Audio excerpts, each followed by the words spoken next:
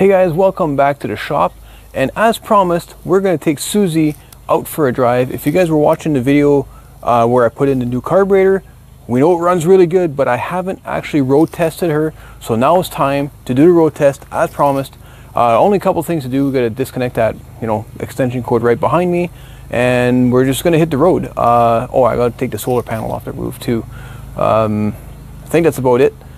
And just just a regular checkup, check the tires and all that good stuff. But let's go for a ride and see if all that work putting in that Chinesium carburetor was actually worth it. Okay, oil is good.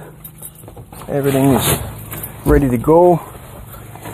All I need to do now, oh, I, I want to, oh, I won't be able to. I wanted to show you guys my backup camera while I back out of here, but I only have the doghouse in here kind of temporarily because in case I got to go back in there for final adjustments, I didn't want to put all of the fancy trim and the cup holders and everything else. So, um, I won't be able to show you that.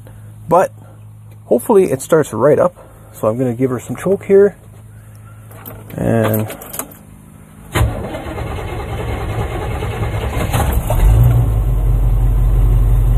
not bad at all. She sounds good little bit of removing the choke. See, like look at that idle. 700 RPM. She's just happy. So, here we go. Close the door here. Maiden voyage with the new carburetor. Oh, that's not right. My foot's going right to the floor, guys. Oh, come on. What is... You gotta be kidding me. I, like, look, I got... I got no brakes. Oh, I guess it's a good thing I got my camera rolling. Anyways, let's go check to see if maybe it's just low fluid.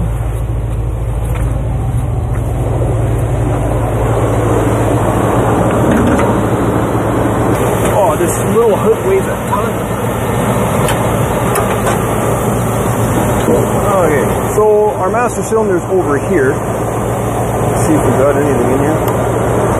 Oh, that's tight. Well, multi-tool to the rescue.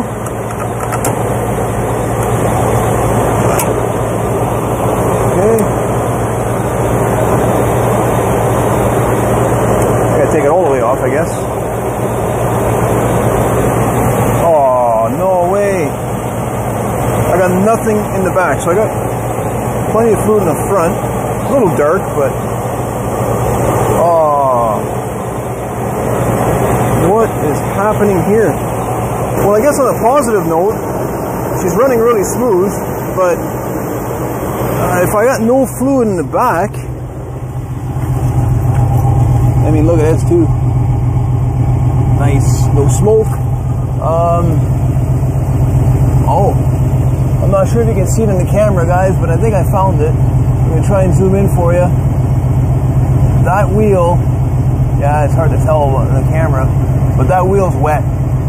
There's definitely some fluid, probably coming from the cylinder, the slave cylinder. Ugh. All right, well, I guess I gotta have to park it.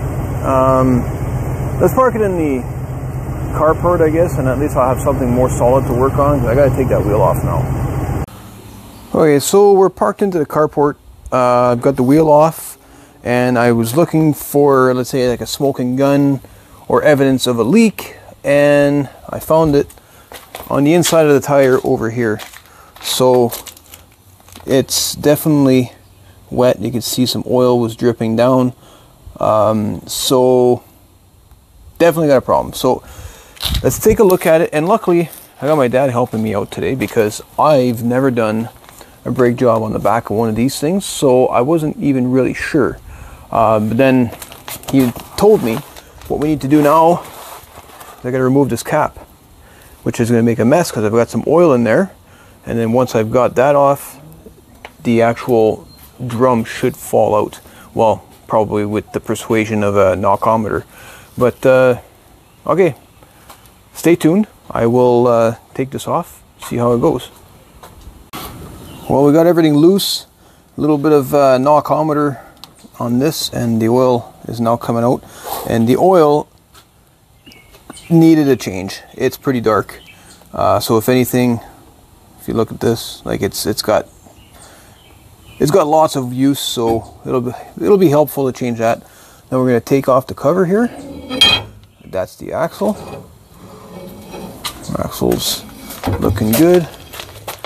And, oh, thanks, Dad. All the way out. Oh, look at that. Okay, beautiful.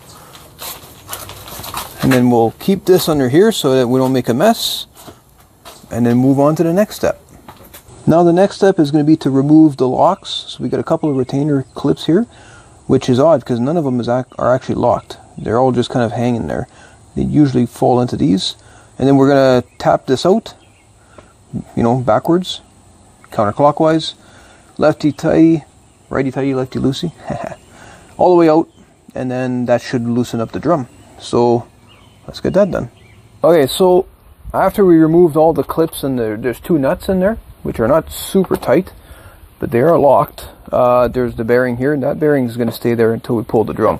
The drum is now loose, just like this. So I'm assuming it's quite heavy, so I'm going to try and kind of control the fall here into my pail and not make a mess, but I'm going to support the weight close to my body using body mechanics and watching my fingers. Uh, yeah, okay, that's pretty heavy, but I work out, so I'm good. Oh, yeah, that's that's heavy, Dad. I wasn't expecting that. Oh, okay, so that's good. And yeah, if you're gonna do this on your uh, on your nice stone driveway, get some cardboard because you tend to make a mess. Um, and now, here we have it. We've got all the guts in here. So that's how you take the drum off of a 1978 dually. Didn't know that before. Thanks, Dad. And I need to figure out where the leak's coming from, and it looks to be right here. That slave cylinder is wet, and it's dripping right down. So I guess we're going to be buying another one of those replacing it. The brakes are in great shape though. They don't have a whole bunch of wear. Lots of material left. So we're going to probably just clean that up. And uh, yeah, once we get a new cylinder in place, we'll be good. So yes, I know I do promise that we're going to go for a ride. I know this is this is kind of something I didn't expect, but we're going to go for a ride. I'm to go check that carburetor out.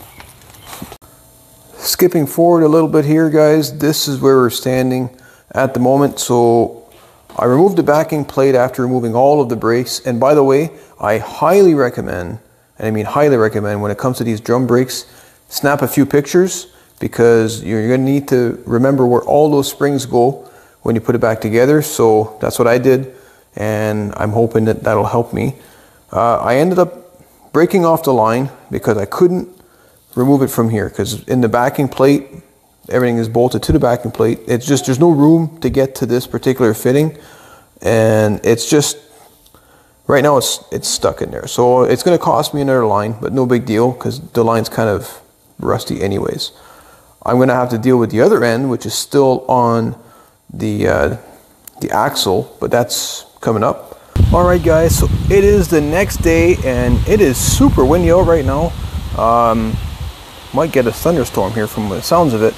So where did we leave off? Well, I mean, I ended up putting a new cylinder in place, uh, and I'm going to post the pictures that I took of all of these springs right now on the on the video. And if you guys want, you can take a moment, pause the video, just to see where all of them are located. And the one thing I am going to point out too is I struggled with these two springs. One of them on this side and one of them on the other side holding the shoes in place. And I found out why. That's because the cups are actually slightly different. This one's a little bit dished deeper than this one. Uh, so it's something to note. But uh, yeah, it's a good idea to take a picture because there's a lot going on when it comes to the springs in here. So what we're going to do next is we're going to put the uh, drum back in place, put the bearing, uh, set the uh, tension on that bearing as well, But I also, since I was looking at the fluid being so dark, I'm gonna just go underneath there. I'm gonna put a drain pan, and we're gonna give this thing, this old diff, an oil change. So maybe we should do that next before we do too much. Uh, and then it's going to be bleeding. Uh, nothing really fun about this so far. I'd rather be driving, but this is what we have to do maintain the old girl here. So, okay, guys, so we are underneath the machine here under Suzy, and what we're to do first is we're to take. I'm skipping a little bit because I thought of this after. While we're working on the brakes, I can let this drip and ensure that we have a good oil change. Uh, we're to take our old 16th wrench here and we're to make sure that the fill port is loose and we can crack it loose because there would be nothing worse than finding out that we can't actually open up the fill port and take this cover off, right? So we're going to crack that free first and then we're going to loosen up the bolts, take a little screwdriver, break the seal free, and then just kind of let it drip. And hopefully my pan is big enough because if it's not well I'm gonna make a mess. But I already looked this up. It takes about two and a half liters so I think this quart I think this will hold like four liters so I should be okay. Come on. Ugh. there we go. Well that's good. That comes free. I'm happy to see that. Now we can break all these free and start draining. Ooh, that's been in there for a long time. Feels good doing this.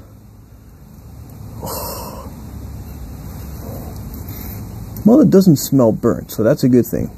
So we're all buttoned up down here. I managed to drain out all the oil, which, as you saw, was pretty darn nasty. Um, and I took a minute to clean up the cover, give it a coat of paint. Nothing too serious. Um, but as you can tell, I've put an excessive amount of sealant around the edge, but I don't want any leaks. So, and I'm not ever going to see this again. Do you need to put this much? Probably not. But hey, doesn't matter. But one thing I do want to do before I go ahead and start putting some oil, and by the way, just just 80-90 in here is what it's going to take. And then once the oil starts to pour out the fill port, that's it. That's all I'm going to do. Cap it up with a clean cap uh, but what I want to do before I go too far is this right here is a vent line. So I'm going to remove it from the differential here and I'm going to take my air gun right over here and I'm just going to blow through it. Uh, and the reason I want to do that is because if there's any dirt or let's say like a bug has made a nest at the end of that and it's not venting, as these gears rotate inside, they create pressure. And that pressure, if it builds to a point where it's got a vent somewhere, well, it's going to either leak out one of these seals here that we just put in or a wheel axle seal, and that's going to puke oil all in, into your drums, and that's just not a good idea. So take the extra minute, take this line. Finally, we can start bleeding the system. Uh, so clearly I went, I ran out of fluid in the back, and these are separate because it's a safety feature. So if you lose brakes on one end of the vehicle, you still have brakes at the other, which is kind of good because it allowed me to park it where it is without crashing into the garage. But look at the sediment in the bottom of this. This is pretty nasty. I mean, it's like 40 year old fluid. I get it. So I'm going to make sure that the fluid that comes out the line is nice and clear. So we're going to clean this all up nice and clean. And it might be worth doing this one as well uh, it's not as dirty. I've already cleaned out. I sucked it out once before, cleaned it, and then put some fresh fluid in. But as you can tell, it's already starting to get dark. But you can still see through it. But yeah, probably worth doing it again. We're just about ready to bleed. My dad's got this all nice and clean for me. And uh, look at the difference between the colors. So I really got to do something with the front. But And a couple little facts about uh, brake fluid. Uh, one of them is it's hydroscopic. What that means is the moisture in the air will actually get absorbed in the fluid. So you should always make sure you got a cap on the fluid when you're done. And the other thing is, is you don't want to pour that all over the place because if you pour it on any paint surfaces or painted or even plastic, it'll ruin it. So just be very careful with that. But let me show you the contraption I've got back here because we got quite a length of hose and if we were to do it the old traditional way with the pump and bleed it would take a while so I'm hoping this is going to work borrowed this tool from work which is a Mityvac so what it's going to do is I'm going to create a vacuum I got the other line set up on the bleeder. The bleeder's open right now. And if I start pumping this on vacuum I'm on vacuum yeah it should pull fluid. See I'm already starting the vacuum right here. It should eventually start pulling fluid through the line. And then when I'm happy and the fluid is clear I'll be able to tighten up the bleeder screw. And then I'm going to finish that whole bleeding system uh, with a traditional method on the pedal to make sure that it's nice and firm. But hopefully this works. If it doesn't work well I'm gonna have to go the other way but uh, yeah. All right so we actually got this working. It took me a while to figure it out, guys, but what I did wrong is I had this side actually open and the other side open. So when I was trying to create vacuum, I was just sucking air through the line from one side of the axle to the other. But as you can tell now, I'm pulling fluid and it's pretty darn nasty. Uh, so I'm happy that we're doing this and I'm going to keep doing this until the fluid comes out nice and clear. And like I said, we're going to do the traditional, you know, pedal open close method. Alright guys, I have yet another development here that is kind of slowing things down, but don't worry, I'm going to explain it all. The bleeding did not go well. It's another day. I tried bleeding the other side, as you saw. It's actually pulling some fluid. It's dark, but it's getting clear. But this side, this is the driver's side, I couldn't get any fluid to get through that slave cylinder or through the bleeding uh, port. And now I'm starting to think that the, either the line or the cylinder, the wheel cylinder is just frozen. So I'm going to bite the bullet. I'm going to replace those two items on this side as well. New line, new cylinder, and in the next scene, we're going to be driving it away because I think it's enough for this brake work. I promised you guys a ride. So that's what we're going to do. We're going to just fast forward to that. And I will have done all the other work magically behind the scenes. All right, I know. It's, we're not on the road yet. I promise this is the last time I do another shot before we move on. But I decided to do a quick one check over. Well, it's echoey in here. Uh, to make sure I had properly. And it turns out I did not. I made a mistake. So these two lines here, I had actually crossed. So uh, the one that has the rigid line on it, that is actually my vacuum advance. I had it uh, connected to manifold vacuum and I had the other one connected to ported. So I switched those up. Uh, and while I was at it, I double checked the timing, which is why I have my timing light out. So I've adjusted it uh, to base timing of about 12 degrees and I've got a total timing of about 30 something. I forget exactly, but it should run really nice. It's actually quite snappy. It was already snappy, um, but you, I like to run my vacuum advance on ported, not manifold. This is probably going to cause a discussion, but anyways, let's hit the road. All right, guys, the moment we've all been waiting for, we are going for a ride. This is to happen. I got brake pressure after all that work. She fires right up. Let's back out of here.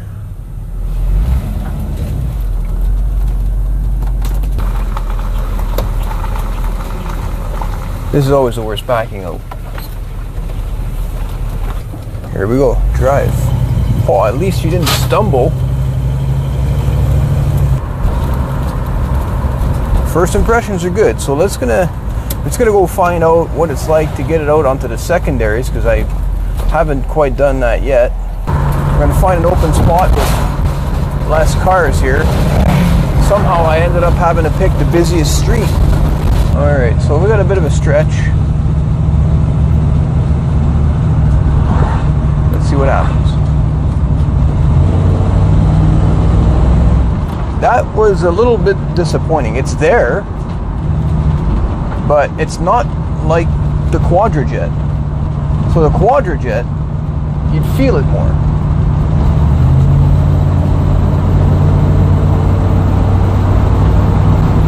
it's climbing, but it's it's pretty slow.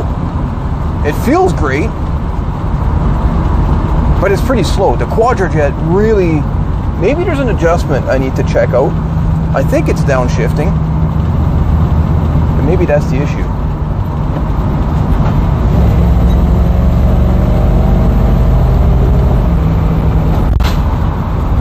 I don't know. I know my timing is set to the ported. I know it's uh, advancing. I was able to check that with the timing light. All that looks pretty good. Um, now, talking with some people, some say that you're not supposed to feel the secondaries kick in.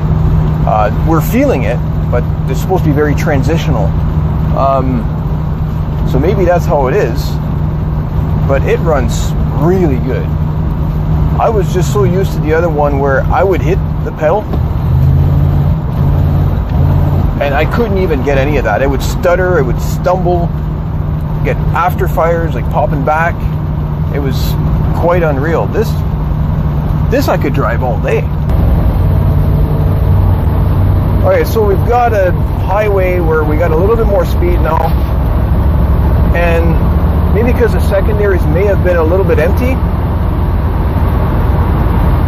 it's much it's better. It's getting better. So we're we're holding speed, no problem here on the primaries. It's shifting fine. It's just overall a comfortable vehicle. The extra weight's nice, and that's one thing maybe I should keep in mind is that it's quite a heavy vehicle, and I may have to jet it accordingly.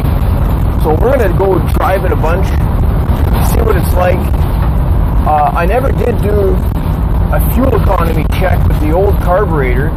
But one thing I can do is I know approximately the mileage. I used to go to camp or our camping spot religiously, so I know how much it took to do that. So I can base that mileage and then do the same run and see how much gas we take then to see if it's any better or any worse. I would hope it's better though. So anyways, guys, we've done it. We went through a couple of hurdles to get here. We got a car passing by, probably making it hard for me to talk. Um, so the brakes feel great. Carburetor feels great. First impressions. I'm going to keep you guys updated on that, and I really hope you guys enjoyed this video. If you did, don't forget to give me a thumbs up. Maybe drop a like. If you really, really do enjoy this video, please consider subscribing. It would help me a whole bunch and I hope to see you all in the next video. Thank you for watching. You guys are awesome. This is why you always watch the video to the end. And I'll show you why. Because last night, laying in bed thinking, eh, there's something not quite right with this. It felt much better on the secondaries with the old carburetor, which shouldn't be quite right. Well, let me show you why. Under the dash, attached to the throttle pedal, is a kickdown switch and there's going to be two wires connected to this and on this one happens to be a turbo 400 there's a pink and an orange the pink will have with key on will have 12 volts which I've tested which it has and now I'm going to check for continuity between the switch so if I depress the throttle pedal all the way to the floor to kick it down sorry guys my light is probably blinding you and if I depress the pedal all the way to the floor this is what I get. I got no continuity. However, if I do it manually, a little bit further, there it is. So that means all I need to do is make an adjustment so that my kickdown switch activates and that should make this thing liven up and make it run like it used to. Then we'll take another drive in the next video.